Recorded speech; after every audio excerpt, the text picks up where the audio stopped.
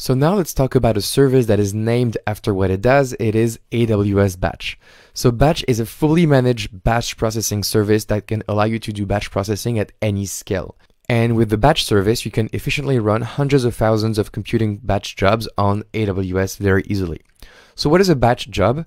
Well, a batch job is a job that has a start and an end.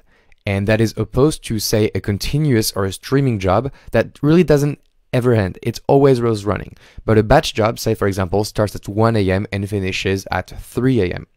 So a batch job has a point of time when it happens, and so the batch service will dynamically launch EC2 instances or spot instances to accommodate with the load that you have to run these batch jobs.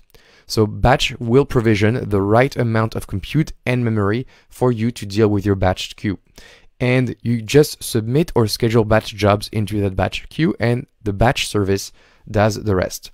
Now, how do you define a batch job? Well, it is simply a Docker image and a task definition that you run on the ECS service. So this is pretty much saying that anything that can run on ECS can run on batch. And this is going to be very helpful to use batch to run these batch jobs. And because it automatically scales the right number of EC2 instances or spot instances to do these jobs, then you get lots of cost optimizations and you focus a lot less on the infrastructure, you just focus on your batch jobs. So this should be more than enough for going to the exam, but I just want to show you a small diagram that I made. So for example, say we wanted to process images submitted by users into Amazon S3 in a batch way. So a image will be put into Amazon S3 and this would trigger a batch job. And so batch would automatically have an ECS cluster made of EC2 instances or spot instances, and batch would make sure that you have the right amount of instances to accommodate with the load of batch jobs you have in the batch queue. And then these instances will be running your Docker images that will be doing your job. And then maybe that job will be to insert the processed object, maybe it's a filter on top of the image, into another Amazon S3 bucket. So the question you may have is what is the difference between batch and Lambda because they look similar? So Lambda has a time limit, it's 15 minutes, and you only get access to a few programming languages.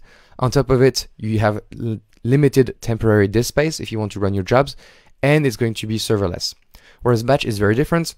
So Batch has no time limit because it relies on EC2 instances. It's any runtime that you want as long as you package it as a Docker image.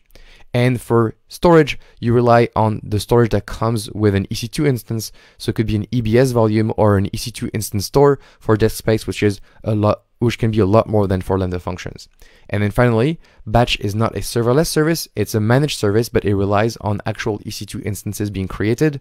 But these EC2 instances are managed by AWS, so we don't need to worry about the auto scaling and so on. So I hope that was helpful, and I will see you in the next lecture.